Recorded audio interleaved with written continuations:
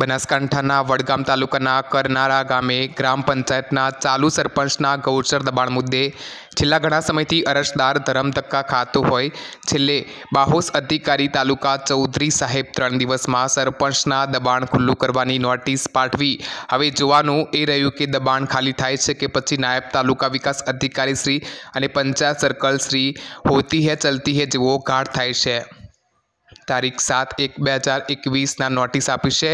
અરજદાર જણાવ્યા અનુસાર આજ સુધી પરિસ્થિતિ જેથી ખરેખર તો બાહુ સાતુલકા વિકાસ અધિકારીશ્રીને ધન્યવાદ આપવા જેવું છે.